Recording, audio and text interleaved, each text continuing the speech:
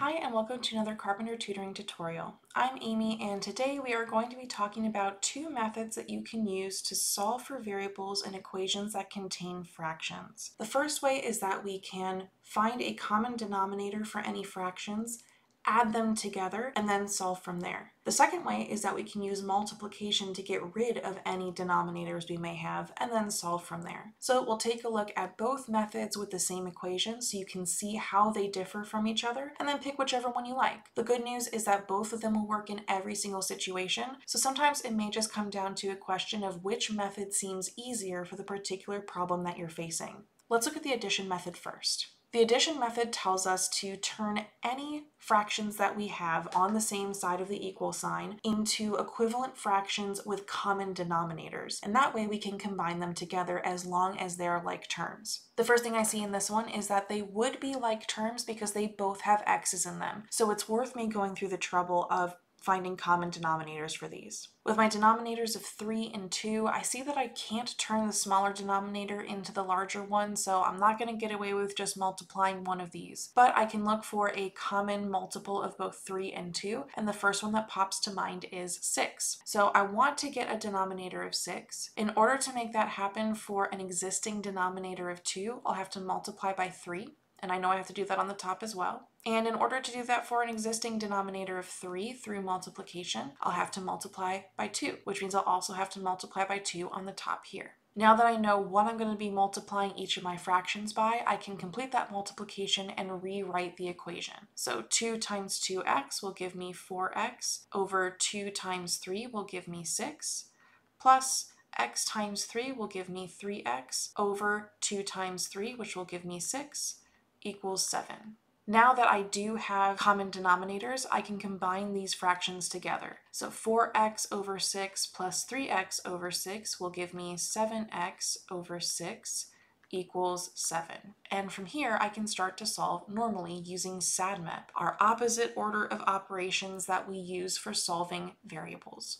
I don't have any addition or subtraction relationships with x, so I jump to multiplication and division. Now I could resolve my issue with 7 or 6 first. Technically, SADMEP would tell you to do 7 first, since as you read from left to right and from top to bottom, it's the first operation you come across. Personally, I always like to get rid of denominators first though, and the order doesn't really matter in this case when you're dealing with fractions. So I am going to start by multiplying by 6 on both both sides, and I'm multiplying by 6 to undo the division relationship that x currently has with 6.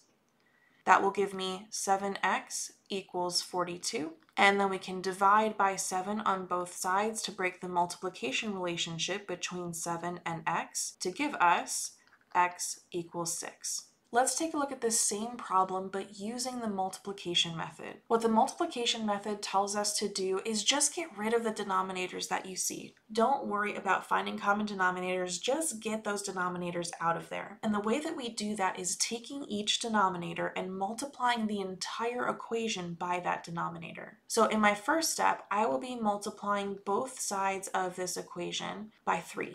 And the reason that I'm multiplying by 3 is because it's the first denominator that I have. When I multiply the first term by 3, it's just going to cause the 3 in the denominator to cancel out. So I'll end up with 2x. But in the second term, the 3 gets multiplied into the numerator only. That's because of our multiplication rules with fractions. So this will give me 3x over 2 now. And I can't forget to multiply on the right side of the equation as well. So 7 times 3 will give me 21. I still have a denominator in this problem though, so I'm going to have to repeat this process with that second denominator. So I'm going to multiply both sides of the equation by 2. When I distribute the 2 to the 2x, that will give me 4x. And then when I distribute the 2 to the 3x over 2, it's just going to cancel out the 2 that's in the denominator. So I'll end up with plus 3x. And then 21 times 2 gives me 42. Now I can start combining like terms on the left side of the equation. So 4x plus 3x will give me 7x, and 42 remains unchanged. Now I can use SADMEP to break relationships between x and other values on the same side of the equal sign. We just have the relationship with 7, which is a multiplication relationship, so I can divide by 7 on both sides and get that x equals 6. So we can see that both solution methods gave us the same answer, x equals 6.